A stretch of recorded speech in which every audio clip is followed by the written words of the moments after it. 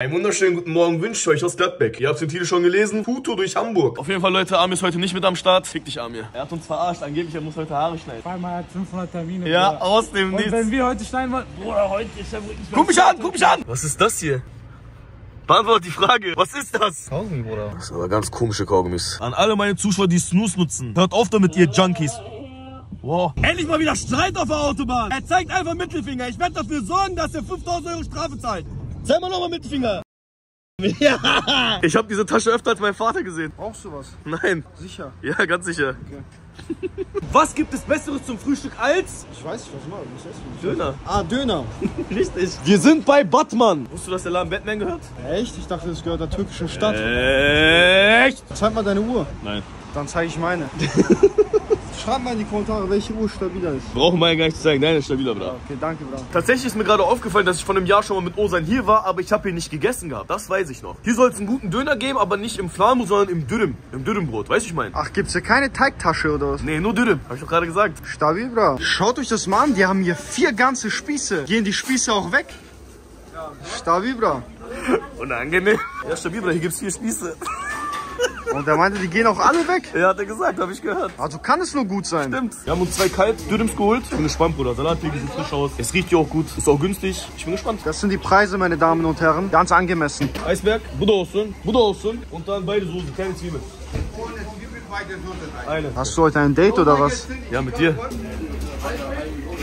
Zum Mitnehmen oder zum hier? Zum Mitnehmen. Ich sag's euch, wie es ist. Für 6 Euro so ein Oschi zu bekommen, ist schon hart, Bruder. Weiß ich wieso, immer wenn wir anfangen, die Food-Videos aufsehen, bin ich immer voll schüchtern. Das ist immer voll unangenehm am Anfang. Aber mit der Zeit, im Laufe des Videos gewöhnt man sich dran und dann ist man cooler zu den Leuten. Los geht's, Bismillah. Mal. Was ist los, Alter? Ich hab grad die Jungs gefragt, wie schmeckt mal. Ja, ist gut. Der ist mehr als gut, Bruder. Das Brot, Lavaschbrot, ist top, top. Frisch, frisch. Schmeckt genauso, wie wenn das eine ältere Oma aus dem Dorf machen würde. Weißt du, was ich meine? Und das Fleisch, auch sehr, sehr, sehr, sehr saftig. Wer damit nicht satt wird und dafür 6 Euro ausgibt, Bruder, hat keine Ahnung. Also wir haben hier Pfannkuchenartiges Brot. Nee, nee, das ist Lavasch. Lavasch. Genau. Reimt sich auf Kusavasch. Ich weiß jetzt rein, ich habe hohe Erwartungen. Du hast gut geredet.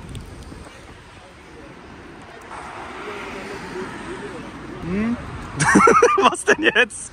Was ist denn ein Mm? Du musst doch erstmal runterschlucken. Ah, okay. Vom Geschmack her überzeugt er mich. Und was gibst du dem heute? Willst du das echt wissen? Ja. Ich sag dazu mal gar nichts. Was? Die Punktzahl könnt ihr euch selber ausdenken. Nein, nein, nein, du musst es sagen. 8,5 von 10. Was? Ich sag dir, wie es ist, Blatt, du hast mich gerade sehr enttäuscht. Du bist immer sehr kritisch unterwegs gewesen, aber heute bist du mir zu kritisch unterwegs. Das Ding kriegt von mir einer. Saftige 9 von 10. Ich hätte mir noch gewünscht, dass es dir noch einen normalen Fahrmodus gibt. Aber ich sag dir, wie es ist. Das war ein sehr guter Spot und ein sehr guter Anfang. Das war ein gelungener Dürüm. Hey, darf ich mal deinen Pulli sehen? Das ist ein schöner Pulli. Wo kann man den erwerben? Auf der Online-Seite. Dollars and Isyan. Laso, kannst dich an die alten Zeiten erinnern? Die ganz krassen YouTuber von damals kamen alle aus Hamburg. Ja. Okay, nenn mir drei. Simon Desue. Ja. Äh, Außenseiter. Ja. Alberto. War Waititi auch von hier? Waititi? Jetzt essen wir mein Lieblingsessen. Weißt du, was mein Lieblingsessen ist? Nee. Nudeln. Am liebsten mit Heinz Ketchup. Angekommen bei Bella Luna. Hier gibt es wohl Nudeln mit Trüffel. Ich sag dir ehrlich, Trüffel mag ich nicht, aber Versuch ist es wert, oder? Das Geile an diesen Nudeln ist, die machen das wie in Istanbul. Haben so einen riesen Behälter, Nudeln rein, Käse rein, mischen und dann wahrscheinlich noch Trüffel drauf. Mal gucken, ob wir hier aufnehmen dürfen. Ein sehr sympathischer, kleiner, knuffiger Laden mit teuren Nudeln. Und gute Speisekarten. Speisekarten sind Laso sehr wichtig an der Nee, Stelle. das Problem bei der Speisekarte war einfach, äh, es wurden erstmal die Getränke angezeigt. Digital war das. Man musste runterscrollen, runterscrollen, runterscrollen. Und dann wurde erst das Essen und die Speisen gezeigt. Und das ist problematisch. Das sollte man schon ändern. Also das ist der einzige Kritikpunkt. Du hast nicht mal gegessen und kritisierst jetzt schon, ja? Ich kritisiere nur die Speisekarte, nicht das Essen. Okay, okay. Ihr seht, Leute, ein Kritiker. So, ich wollte euch alle hier am Tisch mal Bescheid geben, dass ich auf die Toilette gehe, okay? Okay, wissen wir Bescheid. Und hast du irgendeine Kritik bezüglich der Toilette? Also die Toilette ist auf jeden Fall eine 10 von 10, weil die, ähm, das Waschbecken war aus Gold.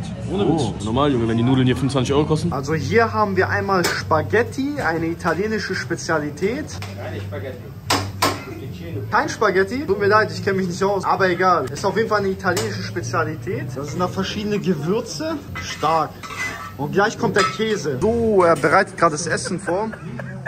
Boah, Alter, du hast so gar keine Hemmung, Junge, wa? Warum? Ich, ich tue das doch alles nur bewerten. Das. Und das, meine Damen und Herren, ist der Käse, der gleich auf die Nudeln draufkommt. Ey, das ist ja krass. Waren Sie schon ein paar Mal hier? Waren Sie schon mal hier essen? Nee, aber denk dran, ne? ich komme in Knast. Zum Wohl. Du trinkst das doch Wasser. Ist doch egal. Nein, nicht egal. Doch. Du bist doch kein Mann, du bist Mann doch. Aber mach mal heute eine Ausnahme. Zum Wohl. Eine Ausnahme, kommen Sie schon. Ah, okay. Gianni hat mir Luft geschoben. So, jetzt. Dankeschön, du hast mich gerettet. Kein Problem. Dich lasse ich niemals hängen, mein Bruder. Hi. Die Nudeln werden angerichtet. Okay, das sieht wirklich cool aus. Das sieht interessant aus. Vielen Dank, super. Danke. Nee, man merkt, die machen das hier mit Leidenschaft auf jeden Fall. Würde ich auch für 25 Euro. Weißt du, was das für ein Käse ist, Jan? Nee, was denn? Parmesan, ist richtig? Ja. Siehst du, siehst du, ich kenne mich aus, Jan. Du kennst dich aus. Ja, mit Trüffel. Wird jetzt auch nicht das erste Mal sein, Trüffel zu essen. Dann wollen wir mal. Also meine Freunde, das ist geisteskrank. Eine Geschmacksexplosion da so. Also ich habe bestimmt schon eine Tonne Nudeln gegessen, so sehe ich auch aus. Aber tatsächlich noch nie mit Parmesan vermischt, so weißt du, ich meine? Das ist schon Baba, Bruder. Wow, das rechtfertigt auf jeden Fall die 25 Euro. Du hast einfach eine Dauerexplosion im Mund, ich sag's euch, wie es ist sehr intensiv auch. So, probieren wir das Ganze mal mit Trüffel.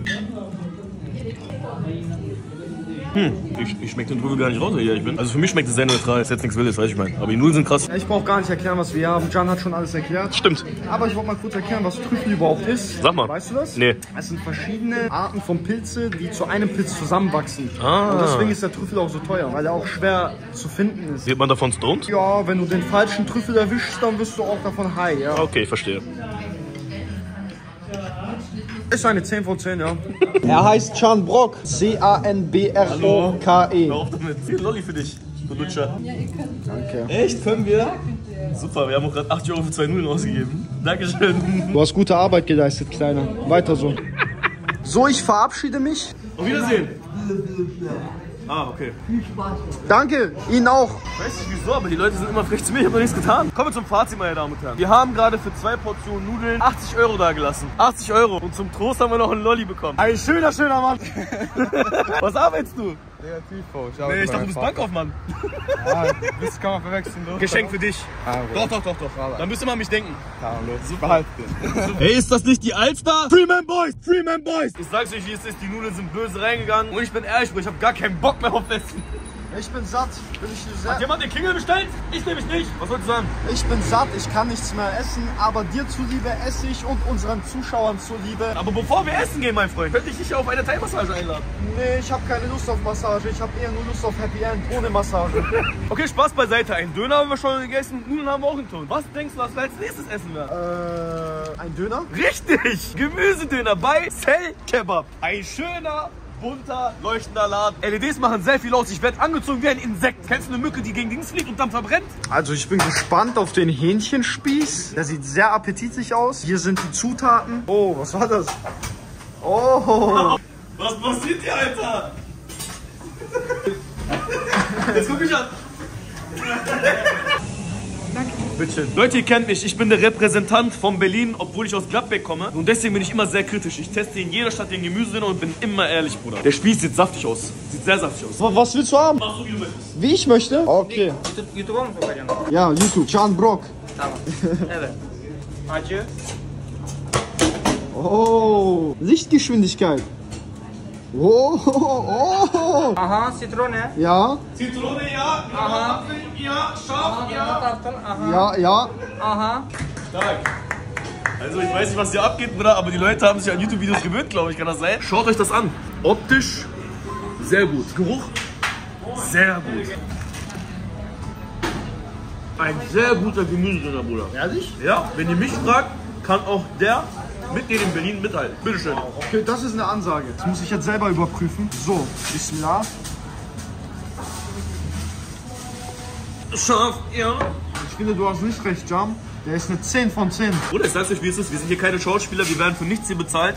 Ich bin derzeit sehr, sehr, sehr zufrieden. Ich sag's euch, wie es ist, Alter. Mal gucken, was unser pakistanischer Bruder zu sagen hat.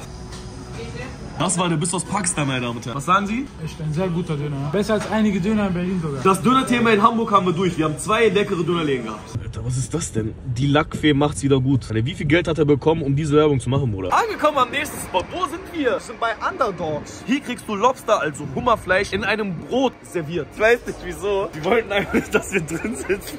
Was haben wir getan? Wollten drinnen essen? Sie hat gesagt, lieber nicht. Naja, solange es geschmacklich taugt, bin ich trotzdem zufrieden. Hier haben wir unser 30 Euro Hummerbrötchen. Kriegst dasselbe bei Nordsee für 50 Cent. Oh. Oh, okay, nein, ich nehm's zurück. Das sieht schon optisch gut aus. Oh. Komm mal näher. Noch näher. Oh. Schön angebratenes Brot. Mit Butter eingeschmiert auf jeden Fall. Es ist sehr knusprig, das spürt man. Ich kann einen Zehnerschein fallen lassen. Ist okay. Also optisch sieht er gut aus. Ich habe hohe Erwartungen. Moment, ich versuche mal ein bisschen aufzupeppen für dich. Limon. Ich sag dir ehrlich, dasselbe Sandwich kriegst du bei Nordsee für 2,50. Aber ich gebe dir meine 10 von 10. Ich sag euch, was das Problem hier ist. Gegen den Lobster kann man nicht sagen, aber diese Gewürze schmecken mir nicht, weißt du? Ich finde Lobster passt nicht als Sandwich. Ich hab's für euch probiert, lasst gut sein, müsst ihr nicht essen.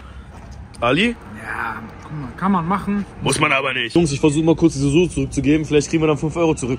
Ja, mach mal. Was darf in einer Foodtour nicht fehlen, meine Damen und Herren? Es ist in jeder Foodtour dabei. Pizza. Richtig, wir sind bei Tazi Pizza und hier gibt es eine schöne Steinofenpizza. Heute haben wir es aber nicht so gut planen können. Der Laden ist schon voll, obwohl er erst seit einer Stunde offen hat. Das heißt, der Laden ist sehr beliebt. Drin ist leider kein Platz, wir werden draußen wie Hunde essen. Da hat der YouTuber-Status auch nicht so gemacht, meine Damen und Herren. So, die Pizza ist auch schon fertig. Wow, okay. Das sieht vielversprechend aus. Stark, Meister. Seid ihr die beste Pizzeria in Hamburg? Sagt man so. Das haben wir auch so mitbekommen, ja? Deswegen sind wir hier.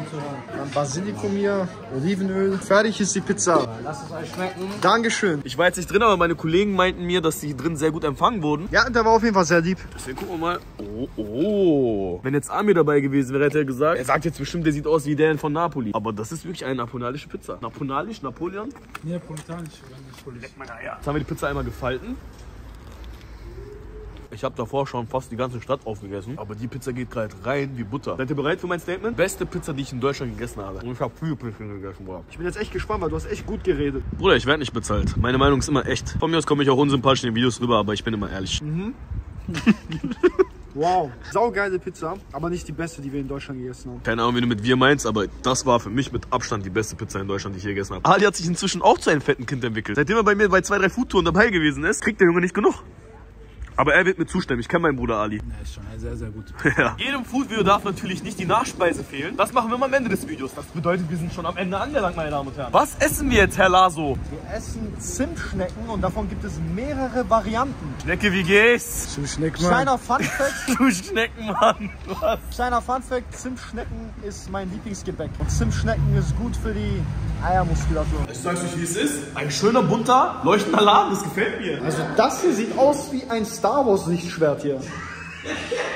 Für mich auf jeden Fall Pistazie, ja. Okay. Und Jungs, wir lassen uns überraschen von dem Chef. Also hier haben wir einmal die Blaubeerenrolle, dann die Apfelrolle, dann die Zimtrolle. Das ist Standard, Zimtschnecke kennt man. Oh, Haselnutroll. Schmeckt wie Kinderbueno. Oh, da, da bin ich doch. Da bin ich doch dabei. Kannst du noch einen Kokosnuss machen? Ja, das schmeckt wie Raffaello. Das ist auch Boah, darauf habe ich Bock. Wir haben gerade mit dem Chef ein bisschen Smalltalk geführt und der will uns jetzt ein bisschen zeigen, wie es hinter den Kulissen aussieht. Er hat hier 25 Mitarbeiter, Bruder. Und guck mal, die arbeiten hier alles vor. Weißt du, wie ich mich hier fühle? Wie Charlie Schokoladenfabrik. Ja, so sieht das auch aus, ne? Voll geil. Nein, also wir, wir gären das hier, wir backen das hier, wir dekorieren das hier. Das heißt, du hast hier tatsächlich, wenn vorne mal was fehlt, fast zwei Stunden, bis wirklich eine Schnecke fertig vorne steht. Das heißt, wir müssen das ein bisschen vorproduzieren. Wir wissen natürlich, was wird am Tag ungefähr verkauft und dann produzieren wir das halt so dementsprechend ey. nach. Ne? Wirklich cool. Normalerweise sagt man hier, wir sitzen und essen, aber ja, wir dürfen. Das ist mein Kakao. Hier ist ein Herz drin. Fantastisch. Das ist meine erste Zimtschnecke mit Haselnuss.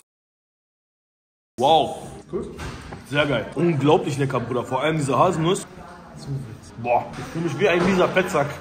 Das hat Chef mit seinen eigenen Händen gemacht. Ich fühle mich geehrt.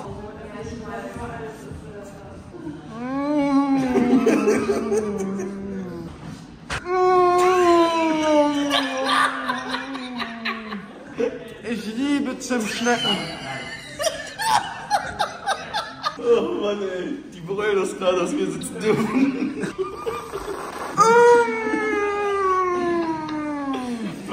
Was gibt's denn den ganzen hier? 10 von 10. Und das, meine Damen und Herren, war's mit dem Video. Ihr wisst, was ich von euch als Motivation haben möchte. Danke fürs Einschalten. Ich hoffe, wir konnten euch gut unterhalten. Und dann würde ich sagen, wir sehen uns nächsten Sonntag wieder. Passt auf euch auf.